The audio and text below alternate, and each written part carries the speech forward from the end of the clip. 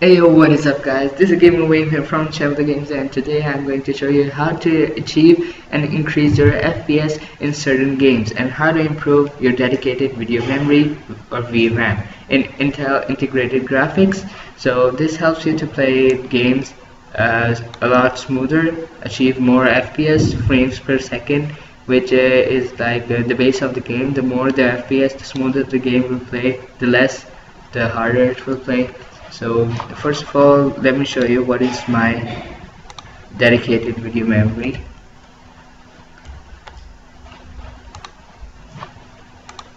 So over here you can see that I have an HD graphics 4600 system video memory I have zero because I don't have a graphic card.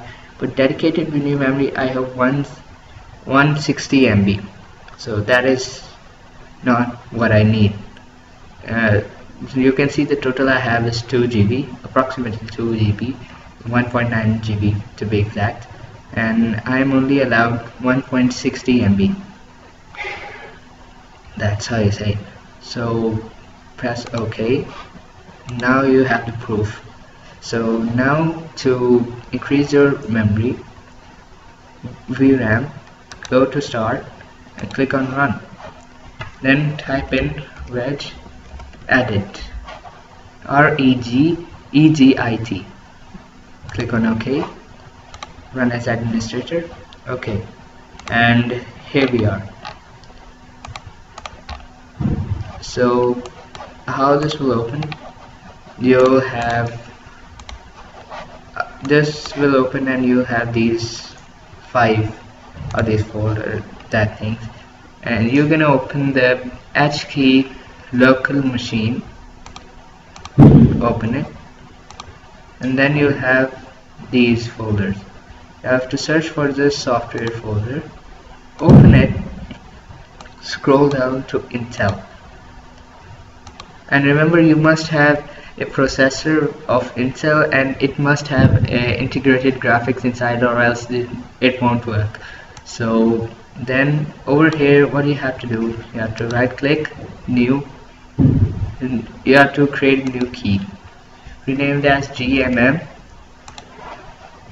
then click on GMM over here you have to right click new and create a dword 32-bit value right? And rename it as dedicated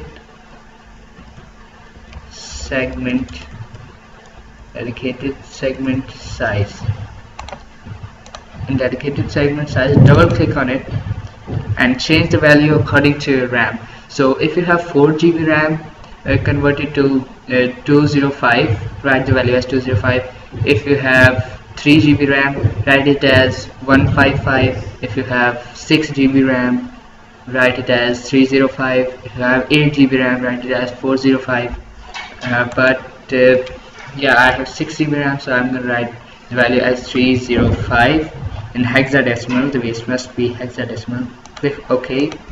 And then what you have to do is close it and give your computer and then you have to give your computer a restart. So I'll visit you after the restart. And guys so I'm back after the restart and now for the proof that our memory has indeed increased display uh, change display settings advanced settings and here you go. First it was 160 now it is 896 MB and even our total graphic memory has increased. So this is how you increase your memory and you achieve FPS like uh, I don't have any game right now uh, but uh, I played Just Cause 2 Assassin's Creed Rogue Assassin's Creed 3 on it and I went from 20 to 30 FPS to 60 to 70 FPS and that was a big boost in some games and some it gives a boost of uh, 5 to 10 FPS some even more some even less. So if you like this video please drop a like on it subscribe to the channel and don't forget to turn on the post notifications and uh, give me comments down below on what should I do next and I'll see you guys in the next video. Thank you